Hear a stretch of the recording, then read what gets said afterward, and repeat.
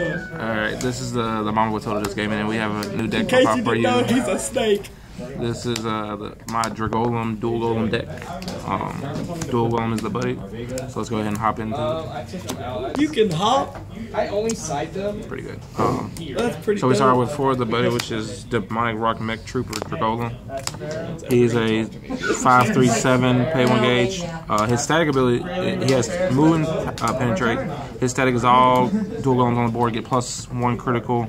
His overkill is during the main phase pay gauge, and all uh, all monsters on your field get plus two critical. So his overkill is pretty cheap for what it is. I mean, you just pay one gauge, and then everything on your board gets plus two crit. So you have a six crit monster on your board, uh, plus whatever else is on the board. Um, else to say about that. Then we get into we have we play three voracious, ferocious wolf golem. Um, he's a six two two, but with the duel golem he'll be a six three two, and then plus the overkill will be a five crit. Well, whenever he attacks, um, you have to you can destroy a monster on your opponent's field, and at the end of his battle, you have to pay gauge or he dies. So with the duel golem archetype, they're high powered, uh, high attack power and high crit monsters, but you have to pay a gauge to keep them on board or they will die. Except for the duel golem, of duel golem, of course.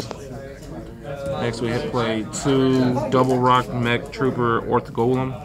He's a 10,000 4,000 uh, defense. Put the top priority deck into its own pay two. When he's destroyed, he destroys all monsters on your opponent's left and right.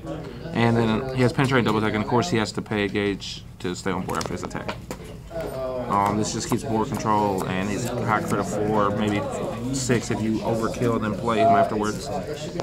Next, we play two Glide and Swallow Golems. Um, they're 5 2 1. When it attacks, destroy a size 1 or less or spell on your opponent's field. So, this is good against like Guardians and Executioners. You can destroy their set spells, or if you need to, uh, destroy size 1.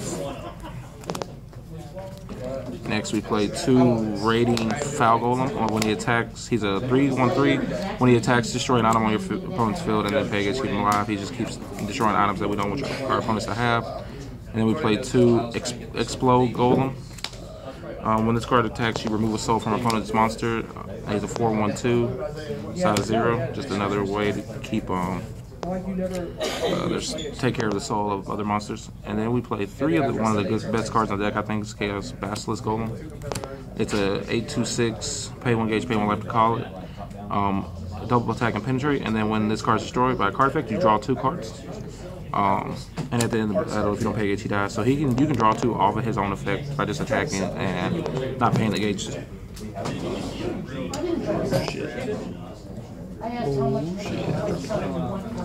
Hold on, guys. Brief intermission. We drop cards. You're fucking annoying. I think I lost. You're not supposed to use the F word. That's not nice. It's all the way under there. I'm not gonna worry about it. Sorry about that. Um, next, we play three Iron Leg Azul Golem. Um, five two two. Uh, when it enters field, you can pay gauge to add a dual goal um, item to hand and shuffle.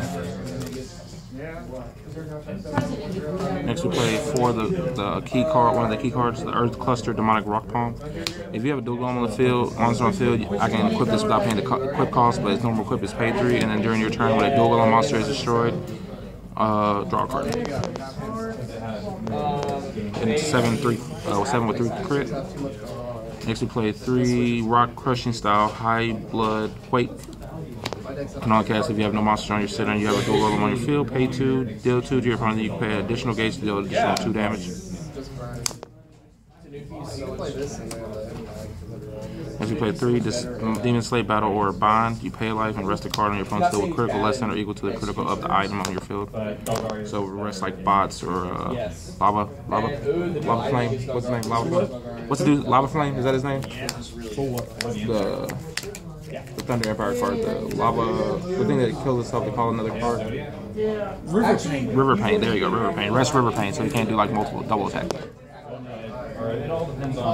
Next, we play three of the Battle Over Circle, which you can notify the attack as long as you don't have a monster in your center.